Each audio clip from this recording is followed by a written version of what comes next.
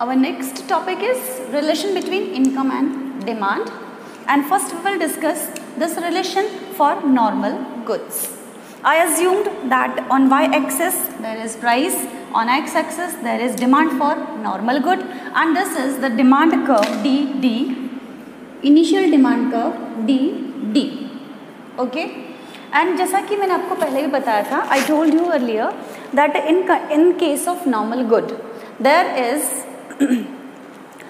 positive relation positive income effect for normal good positive income effect it means if the income of consumer falls then the demand for these goods also falls if the income decreases then demand also decreases. I assumed that income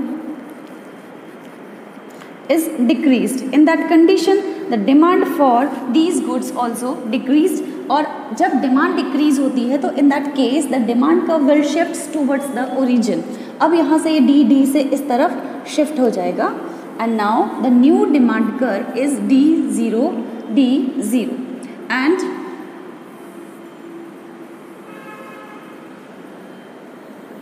the decreased demand is Q0 because of fall in income. Remember this thing.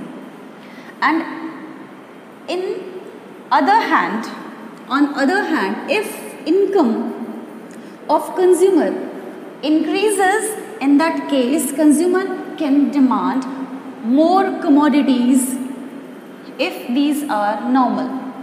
So, in that condition, the demand curve for the same commodity for the normal commodities will shifts forward because demand for these commodities increases. The new demand curve is D dash D dash and consumer moves towards point C. Here the demand for the commodity is Q1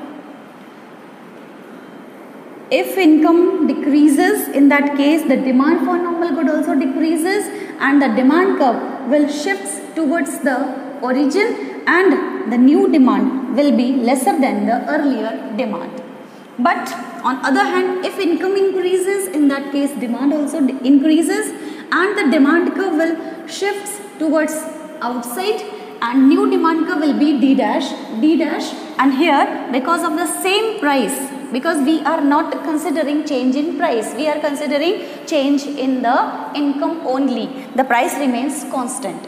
So for the same price increase in income consumer will move from A to C and here he will demand more than Q. And now he is demanding Q1 O to Q1. This is all because of increase in income and the constant price of the commodity. Okay here one uh, we have taken one assumption that the price of the own commodity remains constant and the only thing which is variable that is income. Income may increase or income may decrease. With increase in income demand curve will shifts outside. And with decrease in income demand curve will shifts towards the origin.